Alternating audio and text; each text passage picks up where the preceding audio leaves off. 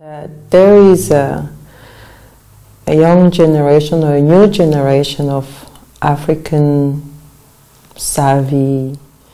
uh, creative, artistic, intellectual, political people on the block, if you want to say so.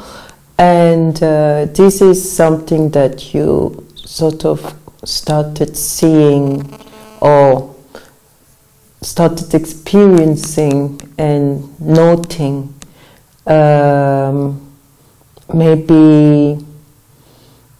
in the maybe 10 years ago or so where um, you could really see uh, a different attitude towards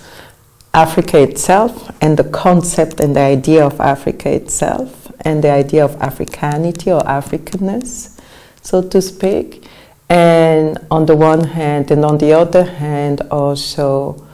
a totally uh, different attitude and, uh, you know, opinions also towards the West, or, you know, uh, a relationship with the West. Uh, and um, and also uh, a totally independent sort of free take or um, on history of the past. So that created, from my point of view, very free and savvy and uh, um, politically astute people working on so all sort of you know uh, professions. It's not just in the so-called uh, artistic, uh, creative field, but uh, you find these people in business. You find them, you know, in economy. You find them in science. You find them in absolutely so. Um, and I think that this is a, a, fundamental shift in the, in the kind of uh, image that you render of yourself. Uh, also in the kind of the way that you want to be perceived. The generation of the so-called born frees if I may kind of use the term that basically applies to South Africa, but into this uh, uh, internet generation, all these people were born after 1989, um, were becoming slowly mature and uh, and uh, somehow um, not influenced anymore by um, this kind of very heavy political, you know, uh, legacy that uh, that uh, people like me and others have, and uh, um, I mean another generation have, but rather about the free internet, the accessibility, the mobility, the borderless kind of, uh, you know, lifestyle. That the on the click lifestyle, so to speak. I mean, you should not forget that uh, for a very long time, I mean, uh, uh there was one party poli uh, uh, political regime in many African countries. And so the, the the whole turmoils of the early 90s that spread over to the 2000s, bringing, you know, the, the consciousness that you can vote and that you can change something with your vote. And uh, that, that also had uh, a very, uh, a very a strong influence on, on that generation. I mean, when I look at Senegal, for instance, you know, or South Africa, or you know, uh, uh, Kenya, uh, and then the ensuing recently the, the, the entire African uprising starting in Tunisia, Egypt, and so on. I think that that's really part of this baggage, you know, cultural, political, historical baggage that is really shifting things in a, in a, in in um, in very deep ways. An African is African at the very last instance. You know, he is first and foremost a Wolof or a Douala or a Igbo or, you know, and then after that he becomes maybe Nigerian, Cameroonian or Senegalese and then maybe he becomes African. So I think this is also one of the reasons why Pan Africanism did not succeed, and it's still not, you know, uh, really coming back to um, a kind of a new proposal or a new try. Um, to my pity, because I, I, really think that the Pan African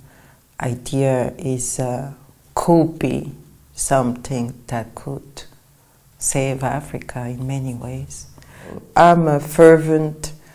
Pan Africanist, and uh, I strongly believe that unity is not necessarily uh, against unicity,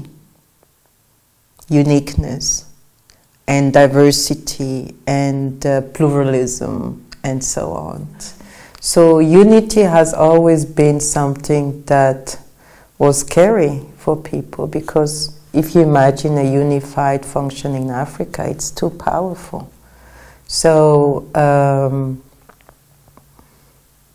I think it's a, I think it's a real pity because regardless of uh, all the diversity, all the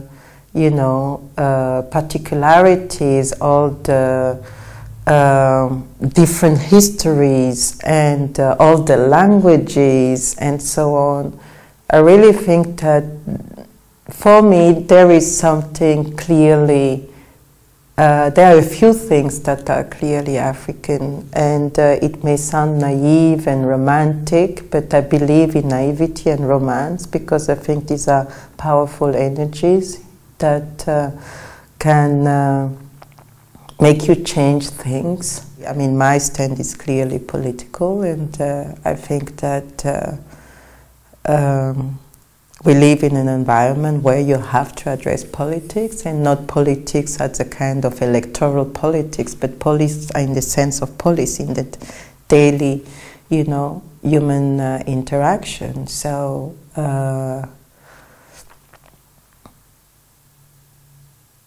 And I think it's uh, it is uh, it is also the role of uh, of art to create social value, you know, if not financial or moral, but at least social value to certain matters that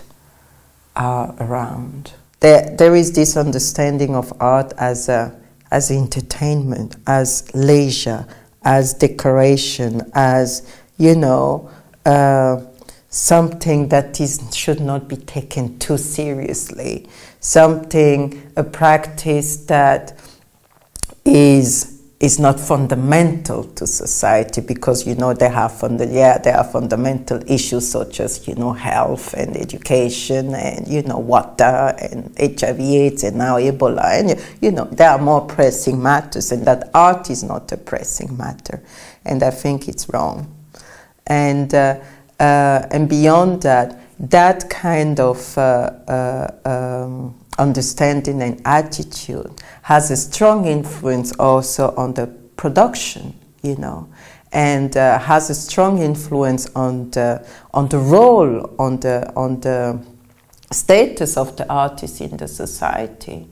and uh, uh, and this is if you take it from that stance, then I think definitely, you know, more uh, analytical, theoretical, and discursive kind of criti uh, critical dealing with artistic practice is more needed because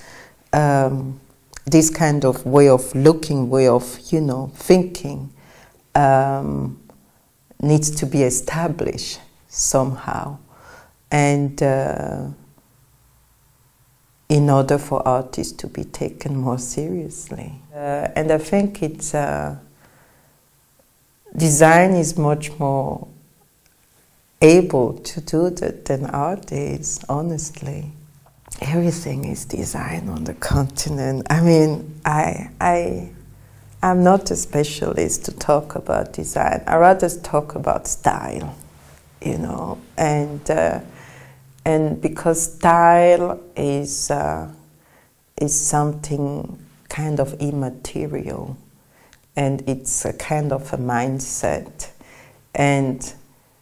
when you're lucky, you grow up naturally with style in Africa, which is not the case in many other places, like in Europe, for instance, you know, I mean, and even when you're not lucky, style is present in the, in everything. People, people like to do, it's not just dressing up, you know, it's just even the, the interaction with people, you know, just a greeting procedure is about style also. So you can also call it design or, you know, social design or interaction design, so to speak.